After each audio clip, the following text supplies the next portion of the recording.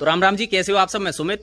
तो भाई, आज के वीडियो में हम नए ड्राइवर्स के लिए, स्पेशली जो नए अभी अभी जिन्होंने कार चलाना सीखा है, उनके लिए कुछ टिप्स बताने वाले हैं।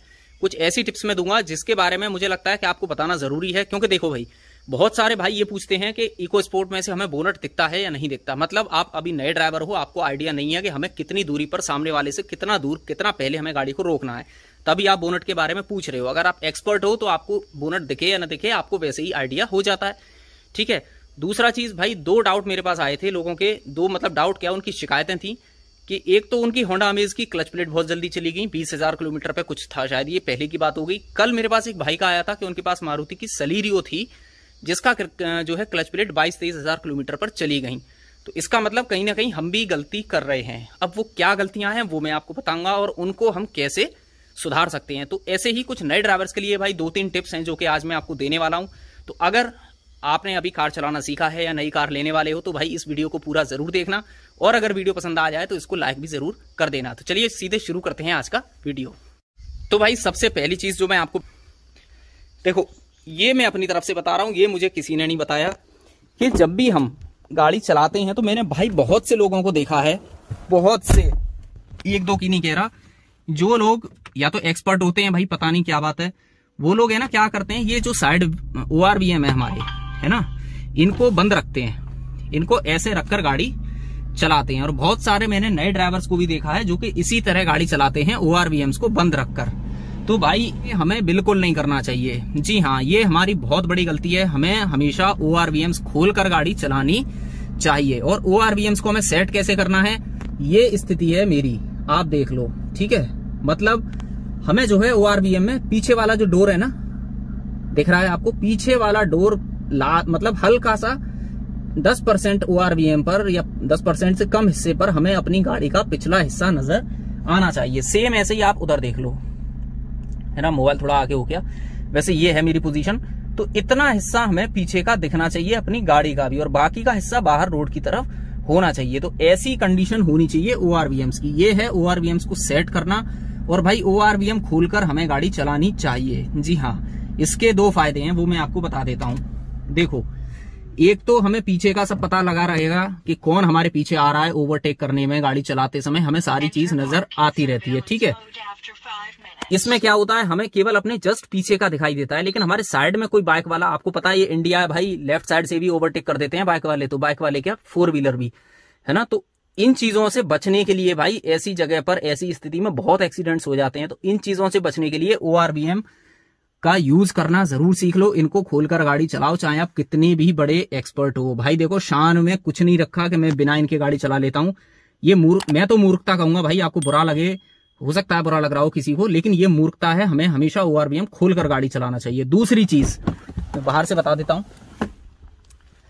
देखो, जब भी आप गाड़ी को, मान लो आप नए ड्राइवर हो, आपको आइडिया नहीं है लेकिन जब भी आप गाड़ी को किसी वाहन के पास से निकाल रहे हो, है ना तो आपको इतना आइडिया हो जाएगा ना कि मेरी गाड़ी का शीशा लग रहा है, नहीं लग रहा।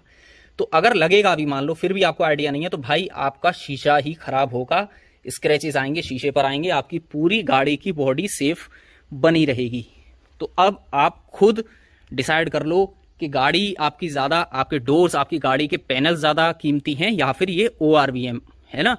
तो ये चीज़ भाई बहुत ज़रूरी है, जब भी गाड़ी में बैठो ओ खोल कर ही गाड़ी चलाओ, इनको सेट करके गाड़ी चलाओ, अपने हिसाब से, जैसे मैंने बताया। अब बात करते हैं दूसरी चीज़ की। तो देखो भाई, दूसरी चीज़ क्या है? दूसरी चीज़ है क्लच का, कि हमारी क्लच प्लेट बहुत जल्दी चली जाती है। ठीक है, हो सकता है गाड़ी में कुछ दिक्कत हो, क्लच प्लेट पहले से ही प्रॉब्लम कर रही हो, कुछ परेशानी हो, लेकिन एक चीज़ आप देखो, अगर आप नए ड्राइवर हो, क्योंकि देखो ये चीज़ें कभी कभी जो आपके ड्राइविंग स्कूल वाले होते हैं, वो नहीं बताते। या जो भी आपको गाड़ी सिखा रहा है वो नहीं बताता। देखो कभी भी किसी भी चीज़ में चाहे आप बाइक हो या आ, कार हो चाहे कोई भी वाहन हो चाहे ट्रैक्टर हो चाहे ट्रक हो भाई सभी क्लच में आपको हल्का सा प्ले देखने को मिलेगा। प्ले मतलब ये चीज़। हल्का सा इस तरह से हिलती है लेकिन इस स्थिति में ये काम नहीं करती है ना? इसको हम देसी भाषा में भाई प्ले कहते हैं। अगर इसका कुछ पर्टिकुलर और वर्ड हो तो मुझे नहीं पता। अगर आपको पता हो तो मुझे भी बता देना। लेकिन इसको हम कहते हैं प्ले। तो हम करते क्या जैसे मान लो मैंने गाड़ी स्टार्ट करी ठीक है?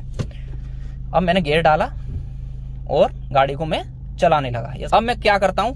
गाड़ी मेरी चल रही है, लेकिन मेरा जो ये पैर है ना, ये इसी पे रखा रहता है। मान लो गाड़ी मेरी स्पीड में चल रही है, साठ, सत्तर, मेरा फिफ्थ गियर लग गया, मुझे अब क्लच का ज़रूरत नहीं है, मैं हाईवे पर चल रहा हूँ, लेकिन फिर भी हम जो है पैर इस पर रख लेते हैं। तो पैर रखने के बाद क्या होता है भाई, इसकी जो प्ले है ना, ये क्लच कायदे में रहना चाहिए, बिल्कुल फ्री लेकिन हमारे पैर के वेट से वो जो प्ले होती है ना, उसके नीचे वाले लेवल पर रहता है। मतलब इस तरह से क्लच दबा रहता है।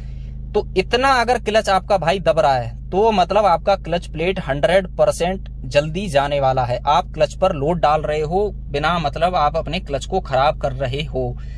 कुल मिलाकर बात यह है भाई कि हमें क्लच पर पैर रखकर गाड़ी नहीं चलाना है। अगर बम्पर टू बम्पर ट्रैफ़िक में आप चल रहे हो तो बात अलग है।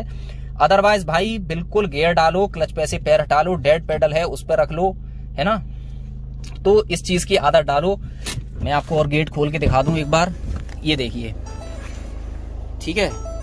गियर डाला क्लच दबानी क्लच दबाई गियर डाला, पैर हटाया, बिल्कुल साइड में। डेड पेडल पर रख लो, नीचे रख लो।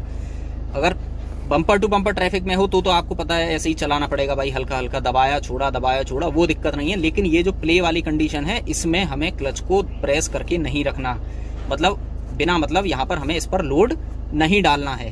तो भाई, अब जो अगली चीज़ आती है लास्ट चीज़ जो मैं आपको बताने वाला हूँ, ये है कि भाई मान लो हम नए ड्राइवर हैं, हमें अपना जो है गाड़ी का बोनट नहीं दिख रहा। मान लो इस तरह से हमें गाड़ी दिख रही है तो हम भाई कैसे अंदाज लगाएँ कि हमें गाड़ी को आखिर कहाँ रोकना है? सामने वाले से कितने पहले हम ब्रेक लगा लें? तो भाई अभी मेरे पास यहाँ पर रोड तो नहीं है, लेकिन मैं आपको एक एग्ज़ाम्पल के तौर पर करके ये चीज़ प्रैक्टिकली दिखा देता हूँ। शायद आपको समझ में आ जाएगा। तो चलिए पहले चलते हैं एक मिनट बाहर। ठीक है तो सपोज़ करो इतना ऊँचा हमारा जो आपकी गाड़ी है, वो कितना होगी? ज़्यादा से ज़्यादा इतना ऊँची, है ना? उसका बम्पर मतलब रियर बम्पर इतना ऊपर होगा, इससे ऊपर नहीं होगा, ठीक है? लास्ट इतना मान लो आप। तो आप इसको देख लो, मैंने जो बताया है आपको यहाँ तक, ठीक है? ये वाला जो पाइप है, इससे नीचे नीचे है ना? इतना ही होगा। इतने ऊंचाई तक ही आपको गाड़ी का जो है बम्पर और टायर्स ये जो बम्पर है, ये इतना ही ऊँचा बैठेगा, ये, ठीक है? ये और वो हिस्सा बराबर निकलेगा आपका दोनों का। तो इस चीज़ को आप देखो, इतना आइडिया आपको रखना है। है ना कि सामने वाली गाड़ी का बम्पर हमें दिख रहा है या नहीं। अब इस चीज़ को मैं करके दिखाता हूँ आपको। देखो अभी मैं करता हूँ पहले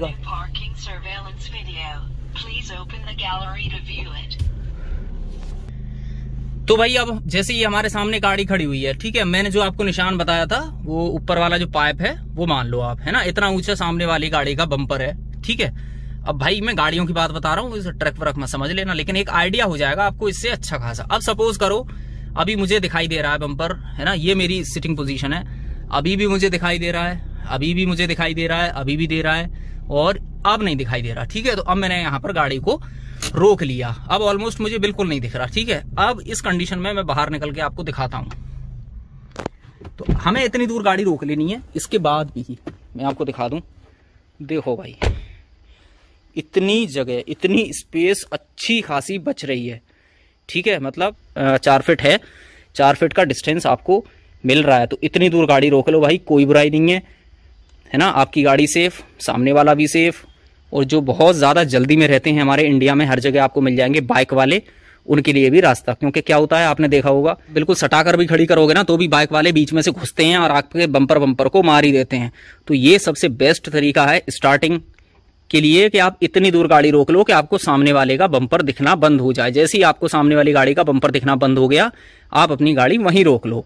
आप भी सेफ़ रहोगे, सामने वाला भी सेफ़ और जल्दी वालों के लिए रास्ता भी बनी रहेगी। तो ये सबसे बढ़िया तरीका है भाई आइडिया लगाने का रोड पर चलते समय। तो भाई, ये कुछ टिप्स हैं जिनको आप फॉलो कर लो। आप सेफ़ आपकी गाड़ी सेफ़ ठीक है, और सामने वाला भी सेफ़ मतलब मैकेनिकली आपका क्लच सेफ़ और अगर फिजिकली बॉडी बॉडी देखोगे आपकी तो आपकी गाड़ी सेफ़ अगर इस तरह से आप अपनी गाड़ी को रोक लेते हो थोड़ा पहले ही सामने वाले वाहन से, है ना? और ओ आर का अगर आप यूज़ करते हो तो तो ये चीज़ कुछ दिन फॉलो कर लो, उसके बाद तो भाई आप रेगुलर कार चलाओगे तो आप खुद ही परफेक्ट हो जाओगे, आप मतलब मुझे ट्रेनिंग भी दे दोगे और जिसने आपको गाड़ी सिखाई होगी ना, आप उसको भी ट्रेनिंग दे दोगे थोड़े दिनों बाद। लेकिन स्टार्टिंग में ये गलतियाँ मत करना और इस तरह से आप एक सुरक्षित कार ड्राइविंग कर सकते हो, ठीक है? बाकी बोनट का मैंने आपको बता दिया, भाई धीरे धीरे चलाते चलाते अंदाज हो जाता है। तो इस वजह से कि गाड़ी बहुत बढ़िया है, लेकिन मुझे बोनट नहीं दिखाई दे रहा। आप अपनी गाड़ी मत छोड़ो। इस तरीके से आप अंदाज लगाना सीख लो। थोड़ी देर में परफेक्ट आप अपने आप ही हो जाओगे। तो ये भाई कुछ तीन टिप्स थे आप सभी के लिए। अगर ये तीनों आपको पसंद आ गए हो तो इसको लाइक ज़रूर कर देना वीडियो को। तो चलिए मिलेंगे जल्द एक नई वीडियो में। तब तक के लिए जय हिंद, जय भारत।